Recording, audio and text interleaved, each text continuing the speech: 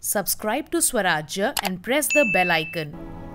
The China Finance China Pakistan Economic Corridor or CPEC has hit a major blockade over an energy project in POK.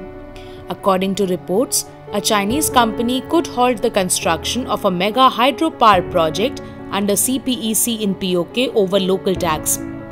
The Chinese company has asked Pakistan to immediately address the issue related to the adoption of a 1% fixed tax by the POK on the offshore procurement contract of the 1124 megawatt Kohala hydropower project.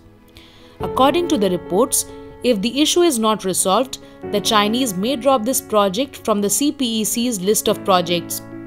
The reasons for CPEC's slowdown have been the pandemic, no major new Chinese commitment, pending payments of Chinese power plants to the tune of rupees 230 billion and delays in the financial close of the Karachi Peshawar railway line upgradation project.